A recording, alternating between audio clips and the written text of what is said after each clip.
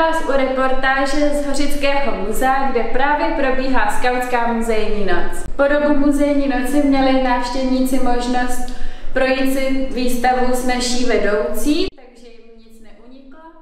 Mohli se podívat na dokument Olgy Špátové o skautech, který se jmenuje Jednou skautem navždy skautem.